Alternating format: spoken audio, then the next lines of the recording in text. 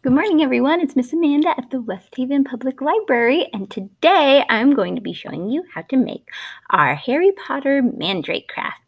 All right, so let's get started. So this kit should come with some brown modeling clay. Um, you should have a stylus, a foam sheet with all of your leaves drawn on, a small clay pot, and then a golden label. Okay, so for step one, we are going to open up our brown modeling clay package and we're gonna try and mold our mandrake.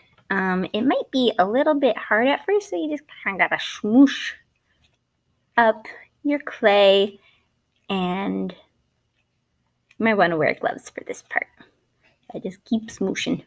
Okay, so we're just going to mold our mandrake. We want to make sure he has some arms and a head and a nice long body. Just like that. Our next step is we're going to use the stylus to give our mandrake a little face. So we can give him some eyes,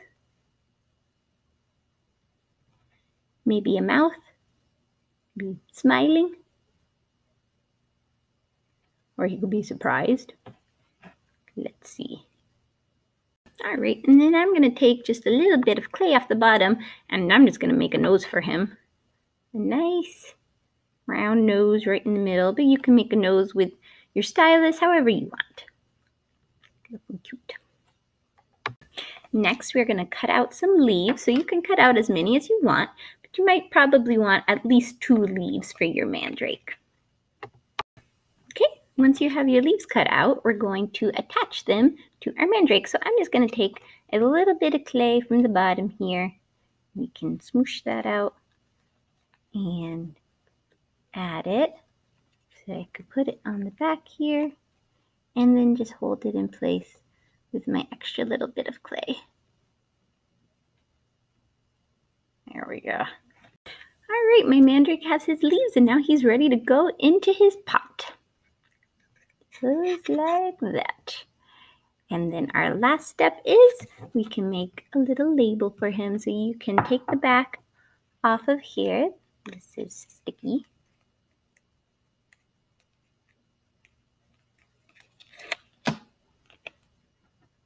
And we're going to just put it right on the pot.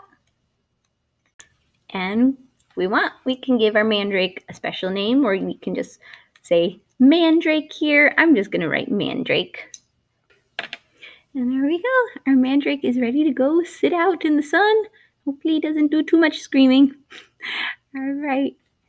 Bye, guys.